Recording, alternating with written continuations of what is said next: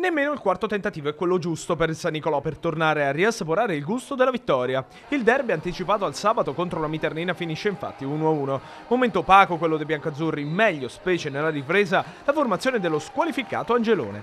Epifani sceglie Dorazio a destra per sostituire lo squalificato Pretara, mentre al centro dell'attacco al posto di Casolla va il giovanissimo Di Sante.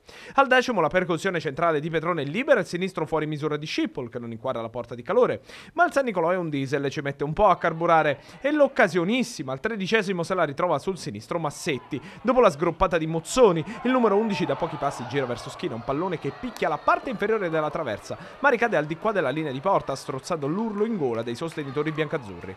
Al ventisettesimo la discesa di D'Alessandris col destro deviato mette i brividi ai paroni di casa, ma è solo un antipasto al vantaggio, sull'altro fronte però, della squadra di Epifani, che arriva solo un minuto dopo, quando Di Sante, pescato in area di rigore da Merlunghi, di piatto spiazza schina e deposita in fondo al sacco il pallone del vantaggio teramano. Per Lunghi al 42esimo avrebbe una buona chance per raddoppiare, ma il destro da piazzato da buona posizione sorvola alla traversa dell'estremo difensore della Miternina.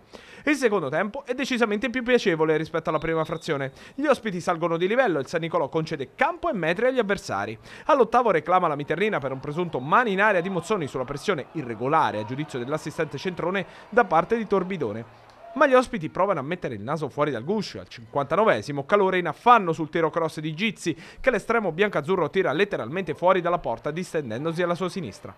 Anteprima del gol del pareggio, che arriva al minuto 68. Calore regala il calcio d'angolo alla Miternina, che lo sfrutta nel migliore dei modi. Franco Pennella, De Santis perde Marco Tullio, che prende il tempo a tutte e gira alle spalle del portiere del San Nicolò la rete del pari.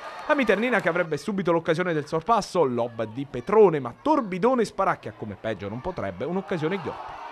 Partita vibrante al 72esimo di Paolo, stende Merlonghi lanciato verso schiena e rimedia il rosso diretto da parte di Piacenza. A Miternina in 10, Epifani opera un cambio addirittura triplo, fuori di Sante, Brighi e Margherita dentro De Gidio, Micolucci e Moretti. Sugli sviluppi del piazzato, proprio di Micolucci, la palla arriva a Massetti che colpisce non perfettamente il pallone. Gli ospiti, nonostante siano in inferiorità numerica però giocano meglio. All'87esimo ancora un corner di Franco con la sfera che arriva sul destro di Petrone, lato di pochissimo. L'ultimo sussulto al 92esimo lo regala la girata sfiacca di sinistro di Merlonghi, su cui Schina non ha problemi. Un altro passettino dunque per la Miternina in classifica, dopo l'X di domenica scorsa fra le mura amiche contro il Chieti. Per il San Nicolò invece, che sale a quota 23 punti, il momento no, deve ancora passare.